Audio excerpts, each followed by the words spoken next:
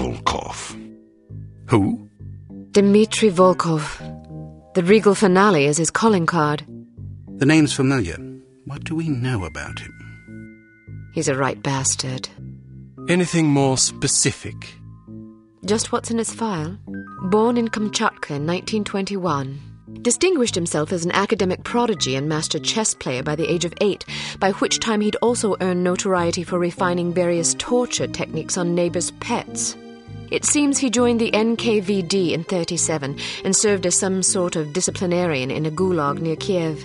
His whereabouts during the war are unknown except for a brief mention in 43 when he was spotted by an OSS officer at Leningrad interrogating prisoners of war who would later disappear without a trace. Ah, yes, I remember this fellow. We've had dealings with him before.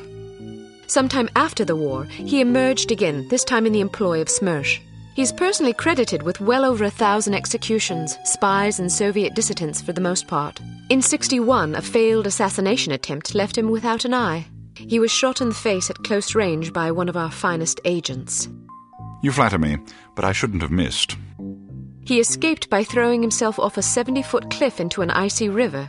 It was presumed that he survived, as no body was ever recovered. In fact, rumor has it he's currently working for an organization calling itself HARM as Director of Executive Action. I don't have to tell you what that means.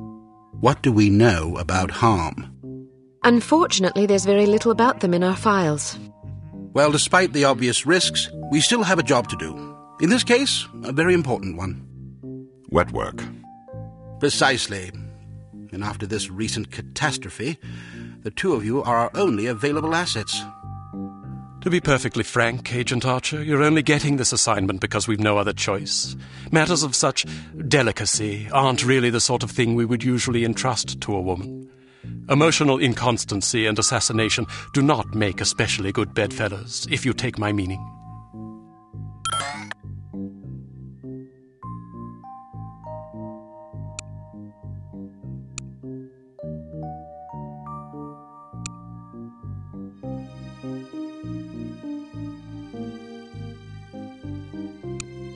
Implicitly.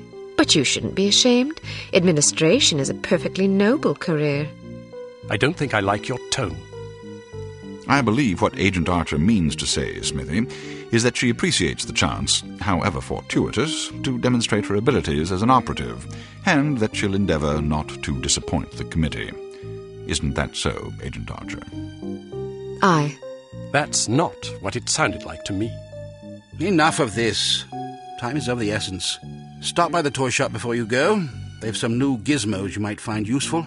Don't dally too long, though. Your flight leaves at 6 p.m. Where are we going? Morocco. Agent Archer, uh, what does HARM stand for? I haven't figured that out yet. See if you can't find out. And be careful. Both of you.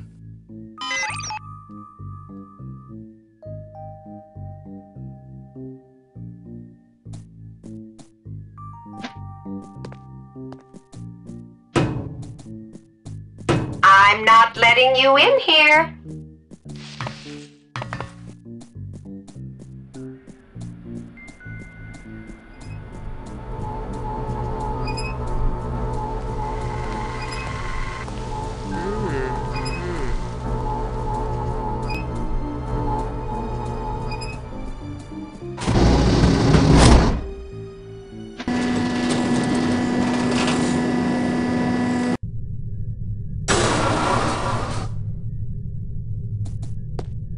We strongly advise that you go through the training course before embarking on your first mission.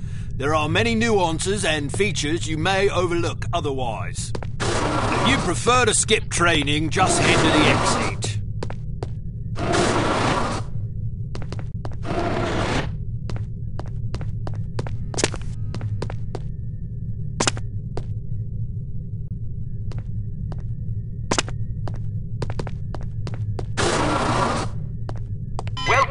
Basic Field Tactics. This course comprises several areas, each with its own lesson. You must complete each lesson in order to proceed. Now step up to the active station designated by the flashing light. Your crosshair will change to indicate an item that can be activated. Alright, Now open the door to the next area. Bystanders will often speak to you if you activate them. Sometimes they will share useful information. Sometimes they just want to chat. Be sure to conceal any obvious weapon or they'll be too distressed to talk. Try activating Leon. Well done. All right, now open the door to the next. If you want to skip a cutscene, simply press the spacebar. Congratulations! You've completed the basic field tactics course. You should now continue to the advanced field tactics area, where you will receive specific instructions for your upcoming mission. Note that new simulations will be prepared for you before each mission.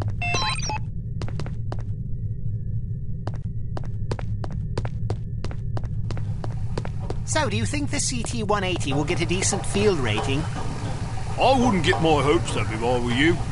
Have you seen the commission form for that thing? They want everything that the TR-60...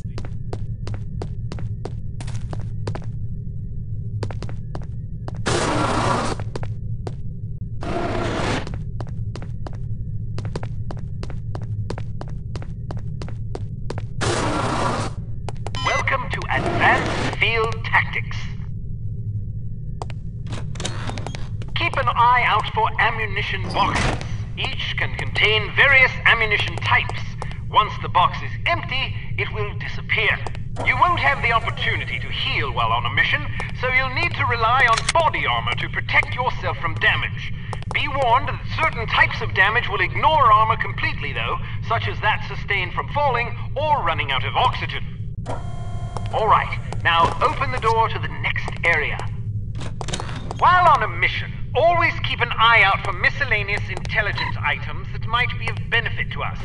Here are some of the items you should look for. The more you recover, the better your mission rating will be. All right, now open the door to the next area. You may occasionally be called upon to arm or disarm explosive devices. Simply activate the device to enable or disable it as necessary. Disarm these mock explosives in order to proceed.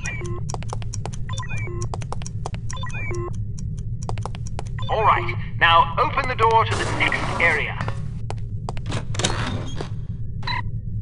It's often advisable to move as quietly as possible to avoid detection.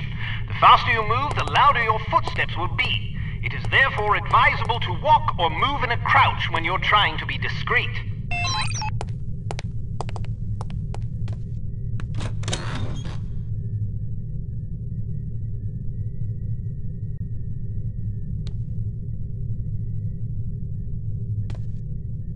Done.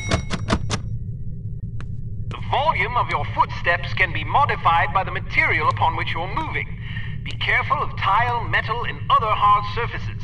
Whenever possible, favor carpet or turf. All right, now open the door to the next area.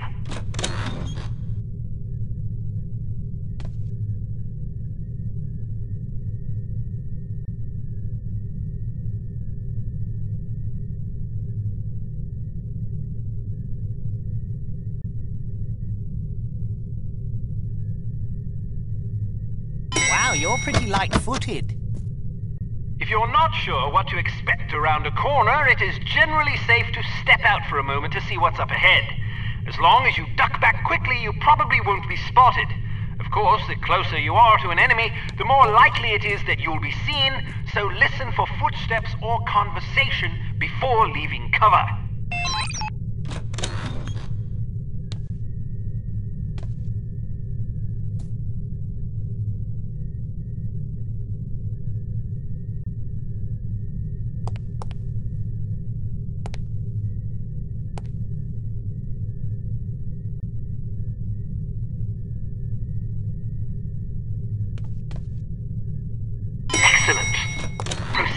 Next course.